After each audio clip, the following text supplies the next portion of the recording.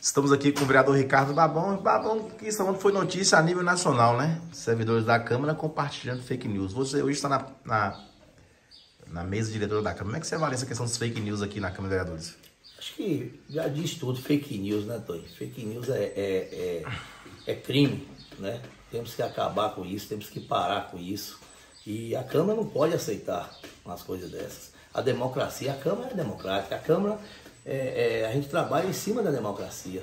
Você vê a união dos 21 vereadores ali, que tem aquela casa ali, né? Temos ideologias diferentes, às vezes é, a gente diverge com algumas opiniões de cada um, mas a democracia é uma só. Né? E o trabalho da Câmara é isso, é trabalhar em cima da democracia e pensar no ser humano em primeiro lugar.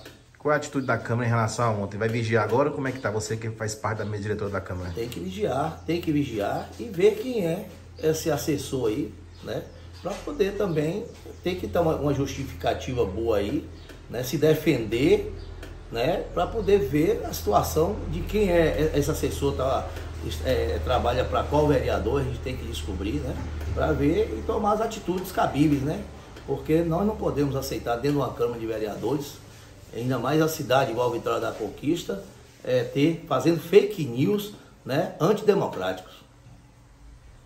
Então, promete continuar né, investigando isso aí, né? Sim, vamos até conversar com o presidente da Câmara, né, é, Hermínio Oliveira, que já iniciou fazendo um belíssimo trabalho aí, né, dialogando com a mesa diretora. Você vê aí ontem várias reuniões, ontem tivemos também reunião com a prefeita Sheila, tudo junto aí, em coletivo, a mesa diretora pensando no, no coletivo, pensando na Câmara, pensando na cidade, né, pensando em trabalhar para o povo.